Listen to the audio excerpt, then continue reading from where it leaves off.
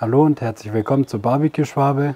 In diesem Video geht es um diesen Tapro Gasgrill, den ich beim Discounter erstanden habe. Viel Spaß dabei!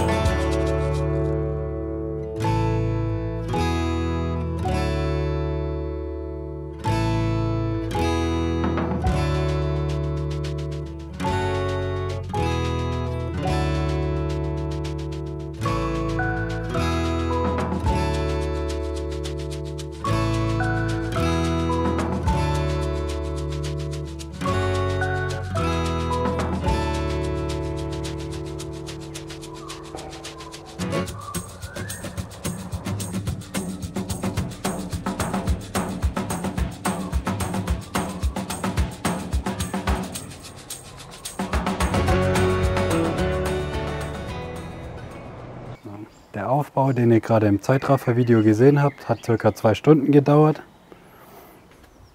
Der Grill kostet 249 Euro, hat vier Brenner, eine Sizzle Zone, hier ein Flaschenöffner ist dran. Äh, man kriegt eine große Gasflasche rein.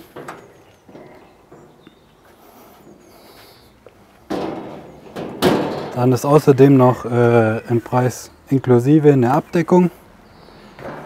Insgesamt hat der Grill vier Brenner. Die zwei auf der linken Seite haben 3,2 kW und die beiden hier auf der rechten Seite haben jeweils 4,5 kW.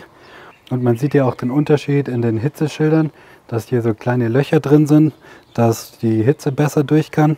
Das gibt es hier auf der linken Seite nicht. Zur Verarbeitungsqualität muss man sagen, das ist natürlich alles sehr dünnes Blech und jetzt nicht super hochwertig verarbeitet. Auch die Rost jetzt nicht unbedingt. Aber ich würde sagen, für den Preis äh, ist es durchaus in Ordnung.